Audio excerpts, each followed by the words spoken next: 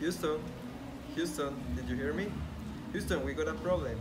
Students in Zamorano didn't know about recycling water in the space. So we are going to explain them how we do this process. Hi, my name is Ronny Barrera and today we are going to talk about the things that astronaut needs for the travel spaces.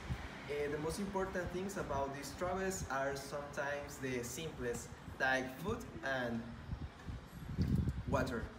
So, according to Ecovidrio in 2018, uh, they say that each astronaut consumes 3.5 uh, liters per person in a day.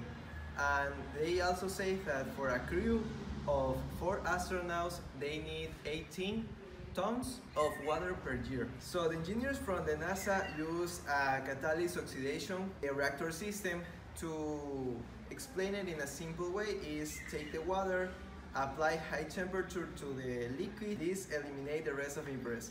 I'm going to explain you about the function of oxidation reactor system. First, start up the line, burn and ignited, raising the temperature for catalytic action activation. Then the system booster fan forces all the gases into the environment into the inlet of the heat exchanger. In addition, in the space, they recycle the pee and water, used for other circumstances.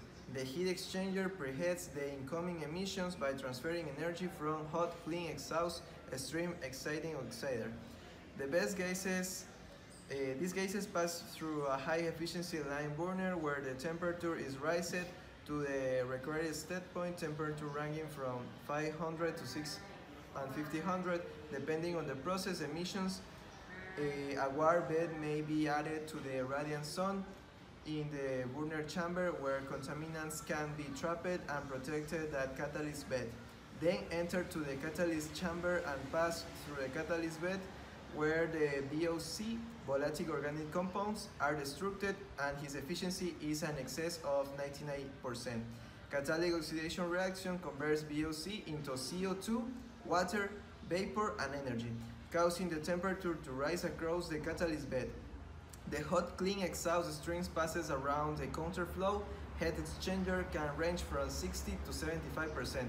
This level of thermal efficiency provides energy, preheat the incoming process emission, minimizing fuel consumption from the burner system, and this system lasting approximately 3 years.